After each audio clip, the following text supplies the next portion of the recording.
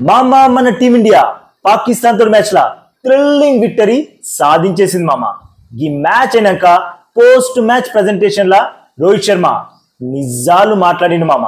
ఏదో మ్యాచ్ గెలిచినాం మేము super performance ఇచ్చినాం అని చెప్పలే.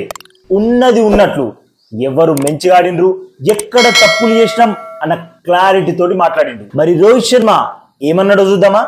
రోహిత్ ఏమన్నాడంటే నిజం చెప్పాలంటే మేము బ్యాటింగ్ అస్సలు మంచిగా వేయాలి ఒక టైంలో పది ఓవర్లకు ఎనభై ఒక్క రన్లు చేసి మూడు వికెట్లతో ఉన్నప్పుడు స్ట్రాంగ్ పొజిషన్లోనే ఉన్నాం. గా టైంలో మంచి పార్ట్నర్షిప్స్ నెలకొల్పుంటే ఇంకొంచెం మంచి స్కోరే వేసేటోళ్ళం గీ పిచ్ మీద ఒక్కొక్క రన్ ఎంత ముఖ్యమో మాకు కూడా తెలుసు.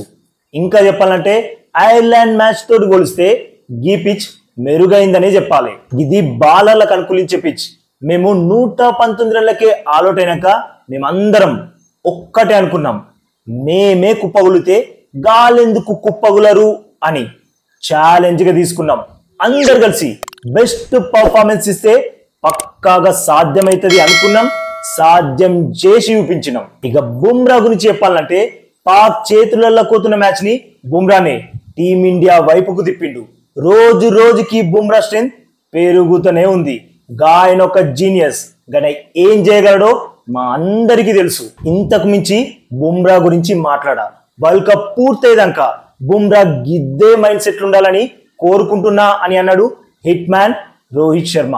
మరి టీమిండియా ఈ లో స్కోర్ టార్గెట్ కాపాడుకొని పాకిస్తాన్ ఓడించినాక ఫుల్ ఖుష్ అయినోళ్ళు వీడియోకి ఒక లైక్ కొట్టుది. ఇక ఈ వీడియో ఇచ్చినందుకు మీ అందరికీ దిల్సే థ్యాంక్ యూ మామ. ఇంకో విషయం మామ. ప్లీజ్ జర మన ఛానల్ని సబ్స్క్రైబ్ చేసుకోరి మామ.